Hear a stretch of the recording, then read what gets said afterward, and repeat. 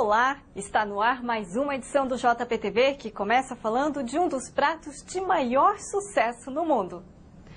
Profissionais futuros da culinária japonesa participaram em Nagoya de um workshop com um profissional vindo do Brasil e aprenderam os segredos com o sushi man Jun Sakamoto. Brasileiros no Japão têm frequentado nos últimos meses cursos profissionalizantes de culinária japonesa. Em Aichi, quatro escolas ensinam a alunos técnicas no preparo do sushi. No fim de semana, em Nagoya, futuros profissionais nessa arte participaram de um workshop com sushi man vindo do Brasil. O convidado foi Jun Sakamoto, dono de restaurante japonês em São Paulo e considerado um expert no assunto.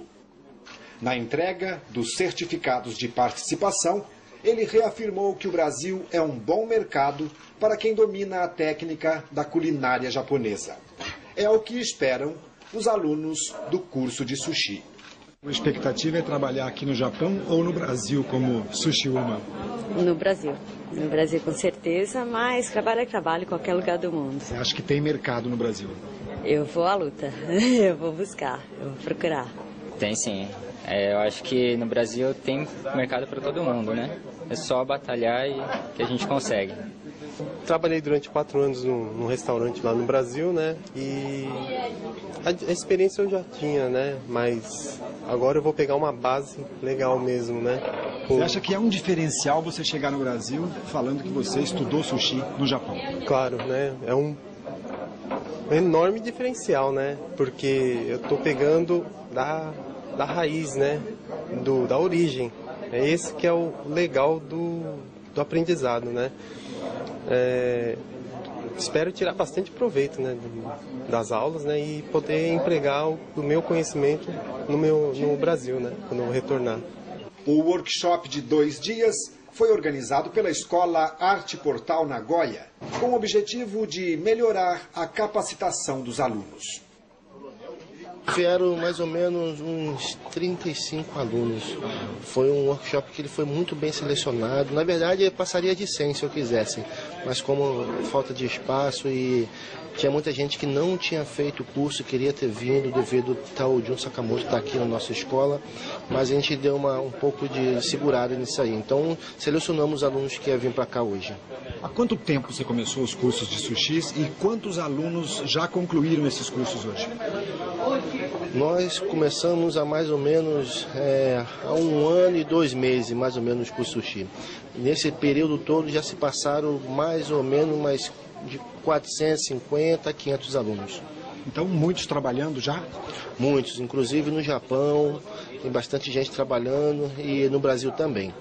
Alunos e monitores de outros cursos de sushi também aproveitaram a oportunidade para troca de informações e aprendizado. Foi muito bom, foi dois dias de muito assim, é, muito feedback, muita troca de informações é, e eu estou contente por essa intro, esse entrosamento do André ter convidado o Espaço Gourmet e a gente ter fazer esse entrosamento, alunos e escola. O sushi man Jun Sakamoto é uma referência no Brasil quando o assunto é culinária japonesa. Ele tem 25 anos na profissão.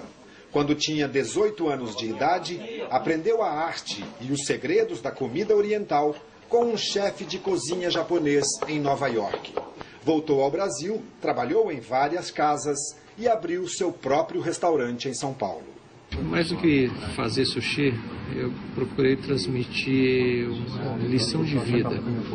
Que eu acho que quando você prioriza ter uma vida bem vivida, é, profissionalmente, isso acaba acontecendo também.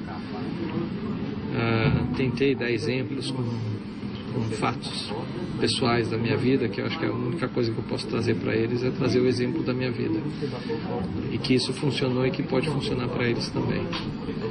É, qualquer profissão, não só sushi. Né? Se você fizer com amor, dedicação, carinho, tentar descobrir primeiro qual que é isso, né? Porque você não pode ficar trabalhando uma coisa que você não gosta. Então você descobre isso. O dia que você descobrir e mergulhar de cabeça, o resultado é natural.